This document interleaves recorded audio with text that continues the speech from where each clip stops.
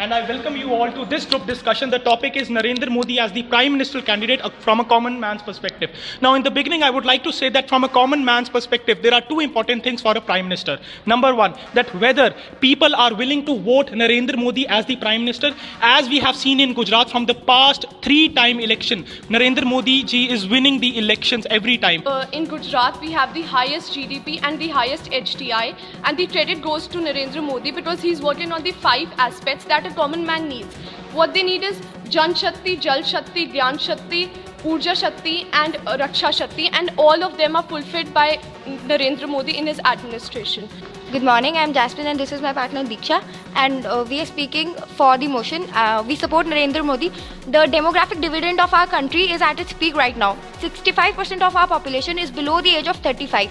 In order to encash upon the energy, the zeal and the power of the youth, what we need is a stable government, a strong leadership, a leader who has the political will, who has, uh, who has performed the, uh, the agricultural growth of a state like Gujarat, which lies so near to the desert of Thar, is 10%, while the agricultural growth of the entire country is going around in negatives. A wise man once said, I'm a common man, I'm a CM from my birth. I'll remain one throughout my life. In our country, the secular and the communal definitions are being formed majorly by the biased media. Now here I come in uh, with a quote of famous Sushma Swaraj speech of 96. She said, until you are being ashamed of being a Hindu, you cannot be secular. Now this point uh, will be substanti substantiated by my example. Narendra Modi in 2008 raised 30 temples just for the widening of roads in Gujarat. Now this point was taken up by the media and only then he was projected as a secular being. So all this hype about him being not secular is uh, just the counterpoints by his detractors. The way he initiated Gujarat to the top with the same hope, the same power, he'll rule the country, my dear friends. Man, he has a different class in him.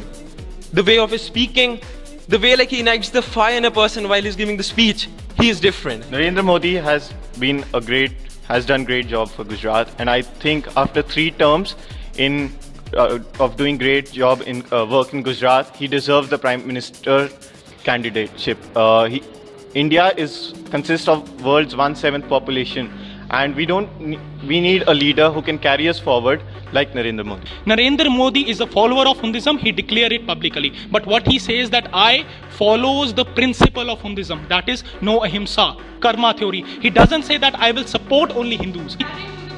Team 1, definitely Narendra Modi has shown lot many points. It is media and the opposition party that has trying to sabotage his image, keeping 2002 riots as a center.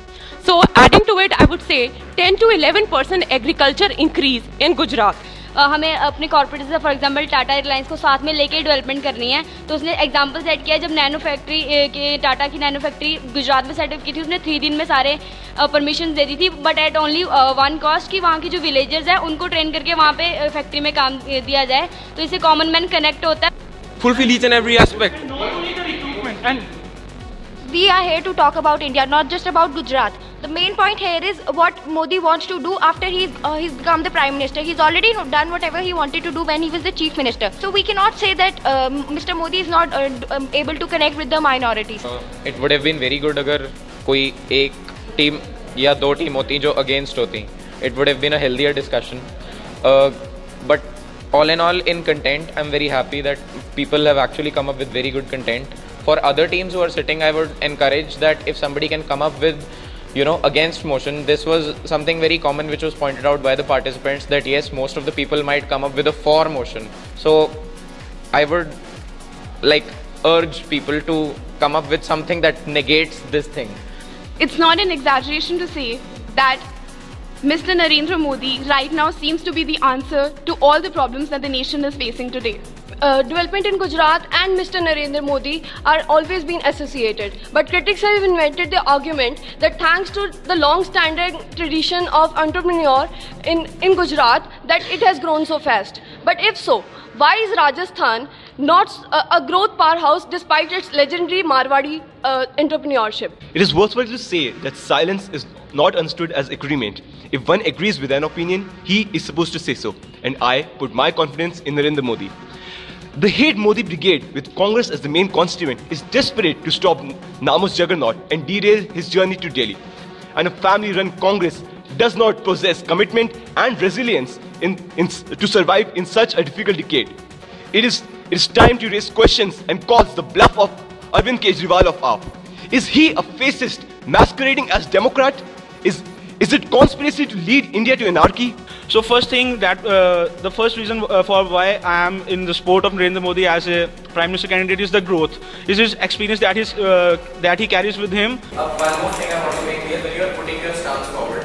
I have given this thing for the participants so that you can quickly tell me your stance. You need to conclude quickly. You can't take forever because the group discussion itself is of 10 minutes. So please keep it precise. Keep your stance very precise and clear. Uh, Narendra Modi has been an extraordinary chief minister. He's been a person who has branded Gujarat as a state with exponential growth rate. The GDP of Gujarat is three times that of India's average. Narendra Modi, the most popular leader of India presently, clear from all the opinions, opinion polls the nation wants this three-time chief minister to be the next PM of India. The development model in Gujarat has been appreciated everywhere and everyone. The UPA has failed miserably and Narendra Modi is the answer to the next PM candidate of India and we support him. The only option that I see is Narendra Modi. Now I'm not saying that he's not corrupt. Like you said that he will tackle corruption. I don't I'm not guaranteeing that he will not probably be a corrupt leader. He may turn out to be probably corrupt leader than Arvind Kejriwal was. But look at his track record, his 15 years of being the chief minister of Gujarat. And I agree with all those points that you just put across that it has put across 11.05% growth as compared to the 9% GDP growth in the other parts of the country, etc. etc.